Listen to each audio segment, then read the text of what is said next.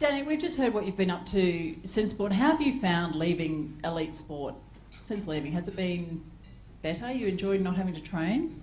Is life more relaxing? It is. I, I actually I, I like the balance I have now in life, um, except for last year when the stock market crashed. Um, a- and when you refer to successful stockbrokers, I don't know if there are any. I think that's a foregone term. Um, life is a lot more balanced now, um, but the, the year or so after you retire is, is very challenging for, uh, for many athletes. I um, had to do a, a year of uh, rehab on my knee, some of it in California. So when I said I was doing rehab in California, it sounded like I was there for, for other reasons.